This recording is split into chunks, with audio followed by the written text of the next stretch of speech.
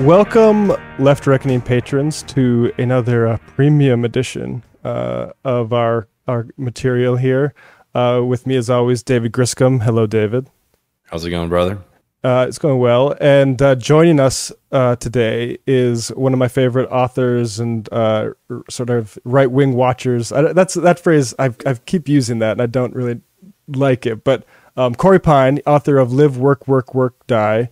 Uh, great book on Silicon Valley, uh, where you say you don't really go undercover of Silicon Valley, but you, it's sort of, uh, um, how do you describe it, Corey? Uh, madcap misadventure. I saw, uh, I saw some some reviewers described it as sort of an anthropological look.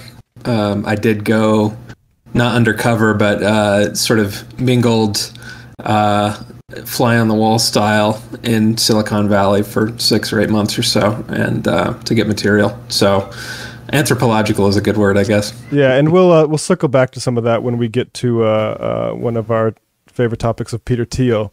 Uh, but before we do, the uh, the sort of occasion for this is I've been getting in hot water with part of our audience because I have a dismissive attitude towards UFOs. Now, I will put this into two contexts for me that explain this. One is it's sort of a god that failed. For me, I was a big uh, X Files fan uh, growing up in the 2000s, literally to the point of when we first got internet, I went to FBI.gov or whatever and tried to look for the X Files section, see if I can maybe get in like a young uh, recruits uh, section.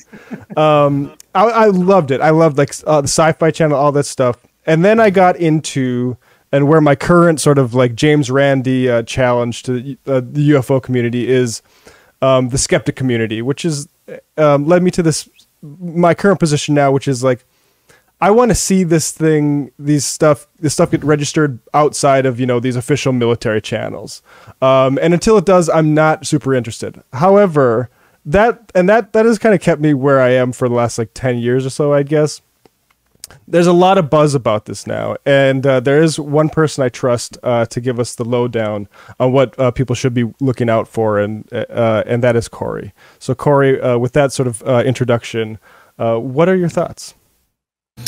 Well, I mean, there was a lot of anticipation about this report that came out in late June.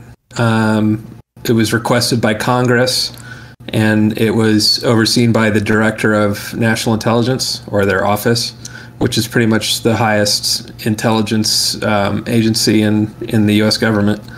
Um, and if you read the, it, the unclassified version is only like uh, nine pages or something like that.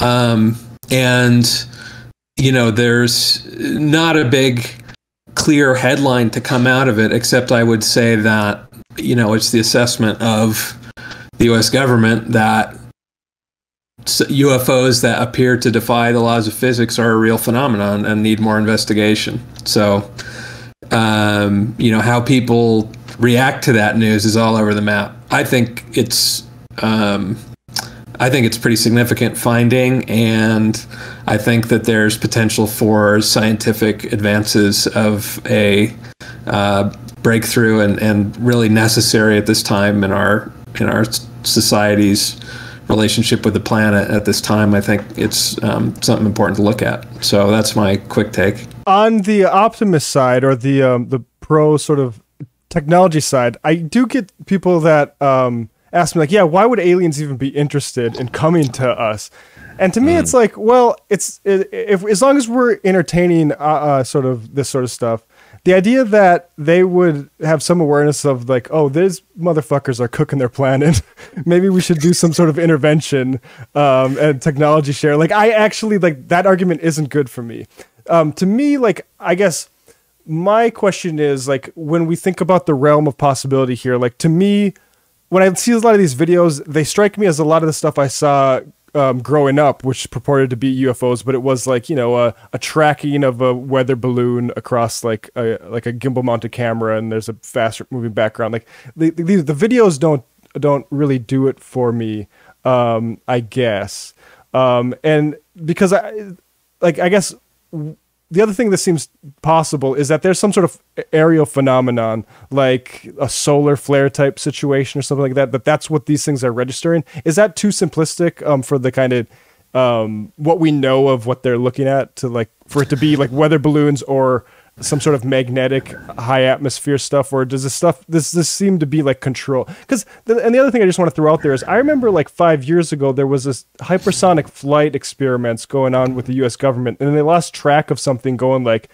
13,000 miles an hour or something like that. I don't know if you recall that, but like these, this is the realm, I guess, like, I'm just curious what you think this might point to, if even if it's like a 10, 5% chance.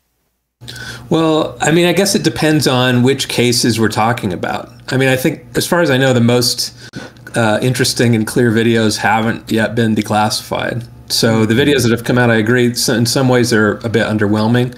Um, but the cases that were examined in this report, uh, I think it was something like 144 cases that they looked at since 2004, all involving you know U.S. government employees and equipment, and I think 80 of those uh, were tracked on multiple sensors. So it's not just you know whatever cockpit videos we've seen. It's the fact that multiple radar and other sensors are tracking these things. So we know that they're like, and those systems have been checked. So you know uh, malfunctions are possible in some cases, but when you've got multiple sensors, they all have to be failing in the same way somehow to track these things. Um, if you assume that they're not there. So I think, you know, the thing is they're there. It just becomes a question of what is it? And the report never mentions aliens. I think I have um, some of my notes from it here. They had five categories, and I think these are reasonable categories that they put the um, the things into. Um, one was airborne clutter. Another was natural atmospheric phenomena. Another was U.S. government or industry developmental programs, which would, I guess, be uh, America's own secret stuff. Right. Another was foreign adversary systems and what they called a catch-all other bin, and I guess that would be your aliens. Right. Right. Um, so I think you know, f- from the variety of weird things that people see in the sky, those are reasonable categories to put it into.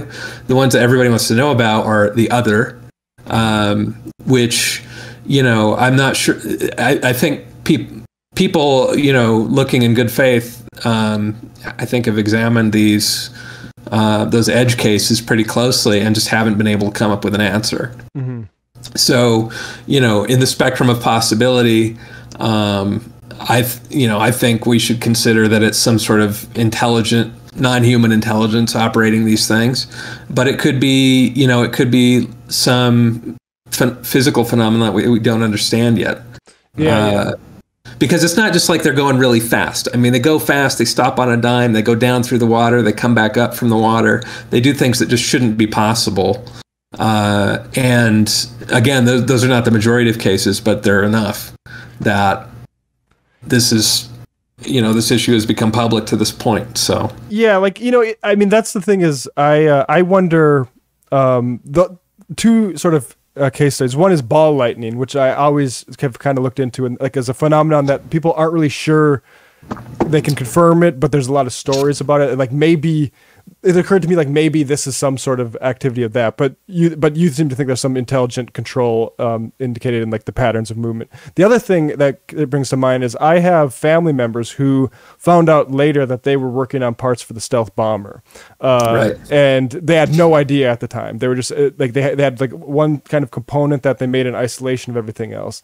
And that seems to me like that if there's a lot of stuff coming out I, like i i mean It'd be nice, I guess. I would love it if it's so, ours. I don't know. I am not. I'm not a big fan of this theory that you're proposing because uh, I think it just substitutes one conspiracy theory for another. Okay.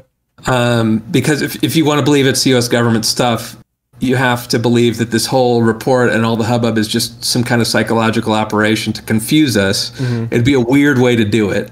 For one, to announce that you have a vulnerability to your most advanced military hardware that can't keep up with these things and are constantly being buzzed by them.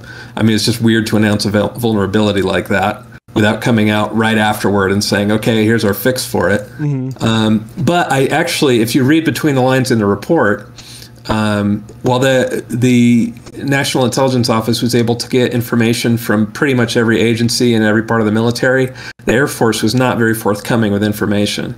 And this has been something that even the U.S. Navy pilots um, whose you know encounters in 2004 became famous a few years ago um, were talking about is that Air Force personnel came on their ship and confiscated their logs. So I think there's actually, reading between the lines of this report and just with all the other uh, evidence that's out there, it, it is possible that that maybe some part of the U.S. government has technology, or a contractor perhaps has technology that the rest of the government, for whatever reason, isn't privy to. Uh, so you can't rule it out. I mean, the report doesn't rule it out necessarily. I think it, however, if this if that's what's actually going on here, um, just speaking as a journalist, I think it's a huge scandal that we need to know more about uh, because these things have been buzzing. Among other things, they've been buzzing U.S. military aircraft. So that seems like a pretty reckless way to behave if it's some other part of the U.S. government, yeah. you know, that has this stuff. I mean, you know, uh, if you ever spent time with people in the Air Force or the Navy, you know, there is like a big uh, rivalry. no, I agree. or if it's like like Erik Prince or something has got some sort of his hands on something and he's like, yeah, um, that that would be another concern I have. Or you know, like I just the other thing is I thought it it like maybe China's got something or something, right? I mean, again, I think it would be a weird way for them to demonstrate this technology. I mean, Putin has apparently in Russia made some advances in hypersonic tech, and they haven't been shy about demonstrating it or bragging about it. Sure. So, I mean, if it's a secret program, whether the U.S. or some other country, I mean, I think it's important that we find out what's actually going on and bring it to light.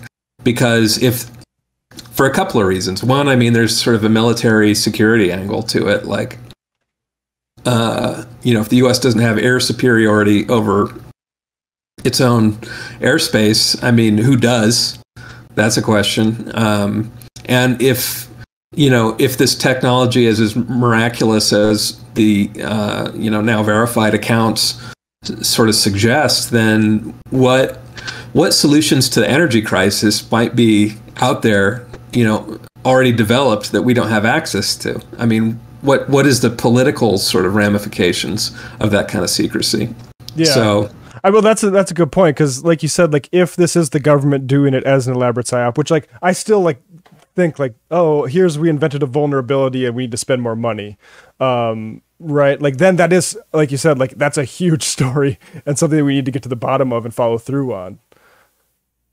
Yeah, I, I mean, I'm with you though. I don't necessarily trust the government or the military to do all of this. But one one good thing that's come out of the report is they say, you know, we need to get more of the civilian scientific community engaged in this.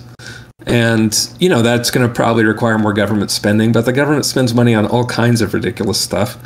Uh, I don't think this is that ridiculous, yeah. especially when you consider the consequences. So, and it also um, strikes me that it might have just secondary effects of like we have all this space junk floating around that like um, people like Elon Musk are positioning themselves to all as like part of the problem, but also the solutions to like space um, litter, basically all this um, which I, I this comes from me uh, uh, listening to Neil deGrasse Tyson's podcast a little bit uh, too often. But like like we have too much junk already uh, just in orbit, and it's becoming a liability. Um, and maybe we can dual purpose. You know, look out for UFOs, and uh, I, I, don't know. There's some benefit to that too. But um, anything else you guys want to say on topic of UFOs before we bring it back down to Earth? Nothing, David. Really? Come on. I, I mean, I, I, for me, I, I, I sit on the sidelines and I let you, you, guys debate this one out because I mean, I'm obviously interested in it, um, in a general sense. But for me, my eyes roll over when I see most of these reports come out, and it's just because I've been so poisoned. I think by the the media at this point, like every documentary on Netflix is some like true alien story. Um, and like so, whenever I see whenever I see anything new come out, I just like I immediately just look the other way. I the guess I just sort of problem. train myself. What? It's a cry wolf problem, basically. I'm I'm disappointed. I'm like I'm disappointed with kind of all the media that's out there about this. So, I mean, my next book, but my next book proposal is supposed to be on this topic. So, uh, hopefully, I can be a corrective there in some ways. But there's just a lot of trash. I mean, it's and I think what's that? No, I was just saying it's absolutely fascinating, and I, you know, I'd love to watch those documentaries just like the next person too. But it's just like I treat it as like fantasy.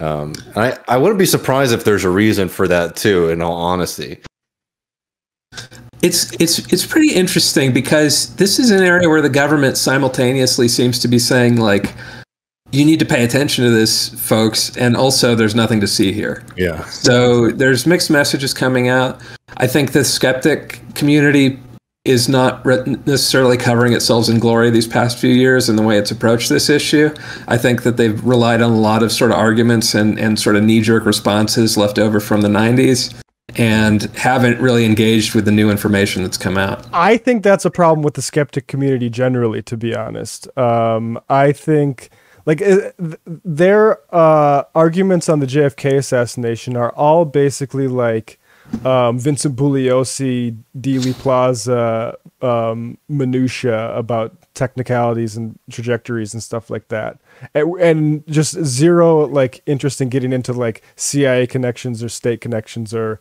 organized crime and stuff like that. Just no, just incurious.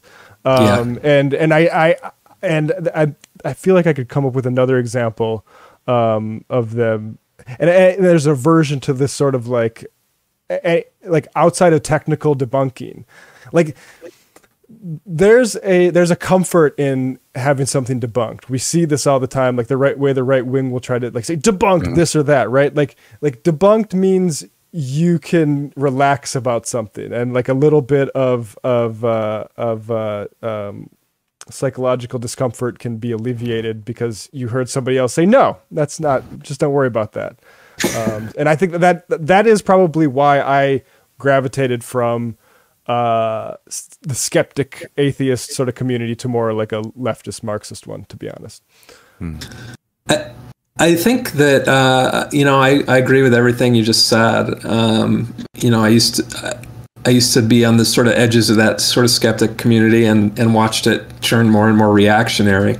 I think if you accept that there's maybe um, government or industry disinformation efforts on the UFOs are real side, there's also similar efforts on the they're not real side. So yeah. Um, you know, for some for some reason, there's certain topics like this that it does seem like there are impediments erected to finding out the truth in a very systematic way, and you wonder why that is. I mean, the simplest explanation is that the government does have secret programs, uh, advanced aerial technology, among other things, that it wants to, you know, it wants to keep secret. So anything that's in the sky and un- unexplained, you know, or, or difficult to explain, or just looks different than everything else, is maybe a th- exposure of that is maybe a threat of exposing some other program off to the side they've got just, uh, you know, by virtue of them being aerial phenomena. So But I mean, while while we're on this, because I, I, mean, I think you make a really good point about how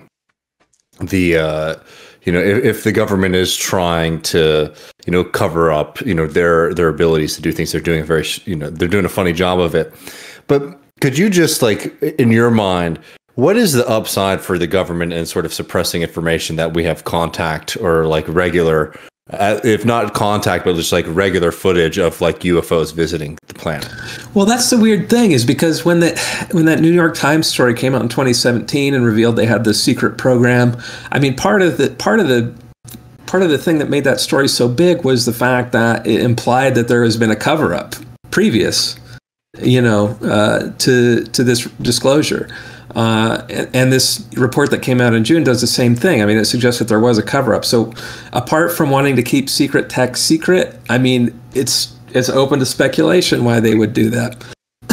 I mean, one um, uh, one thing that uh, the guy that ran that program, Lou Elizondo, has said is that there is, and it fits with previous research that's been done on, you know, by UFO people, is that there is something like a uh, network of uh, essentially like evangelical Christians in the military establishment who think that whatever these things are, or if it represents some alien intelligence, are, are demonic.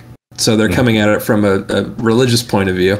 I think that in some ways, the you know the bigger stakes of this this debate and this story are um, sort of the same as have have plagued um, you know scientific leaps through time, which is you know the idea that is humanity the center of the universe. And I think our, our, our science still does place humanity at the center in a lot of ways that we're not, we sort of take for granted. Um, and this story threatens that. So I think that's part of the institutional inertia against it too, apart from the idea that maybe there's like a Christian cabal that is suppressing so, information. That's so fascinating. Like a, bu- a bunch of Christians up in high levels of government thinking like, damn, we got some serious demons flying around.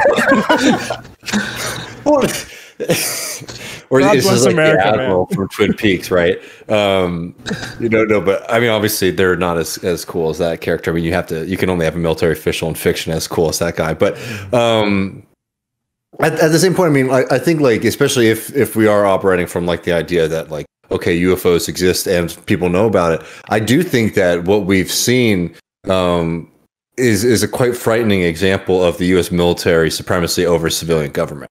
Because I honestly like I, I like let's say if if alien like they do the military does have good intelligence that aliens exist and they're you know visiting their planet regularly. I don't think they told Trump. Right? I mean, like, I really doubt that they told Trump. Yeah, I doubt that they would have too. I mean, you know, Trump spoke and he's like, "Yeah, I don't really." I mean, like, yeah. obviously Trump sucks, but like, you know, he's the president, and like, I really can imagine a, a scenario where they wouldn't tell him information like that. Well, imagine if he was the one who was supposed to come out and say, "Hey, this is all real."